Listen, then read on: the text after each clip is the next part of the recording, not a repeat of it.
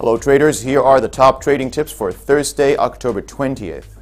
The US dollar sold off against the yen on Wednesday, which made the Japanese currency stronger. While the Nikkei index did manage some cautious gains early this week, the equity markets in Asia have taken on an up and down tentative tone because of lackluster economic data from Japan and China.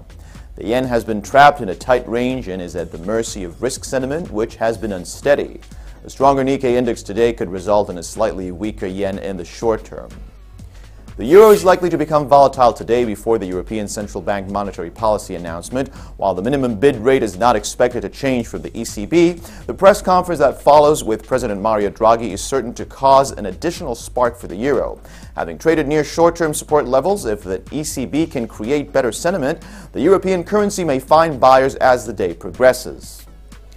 Crude oil gained on Wednesday. The commodity has now started to exceed what had been a strong resistance level.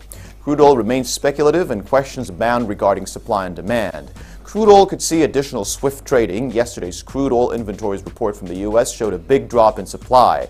However, it should be noted the previous week had a much greater than expected inventory.